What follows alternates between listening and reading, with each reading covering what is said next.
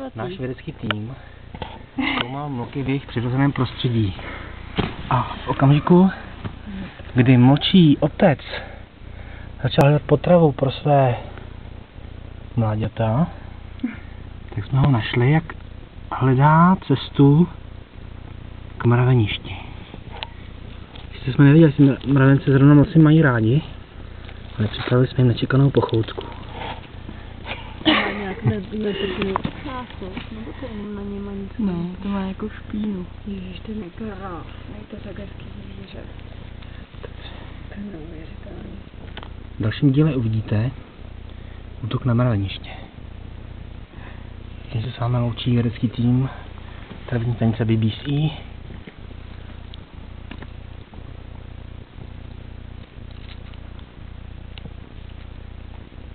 Tak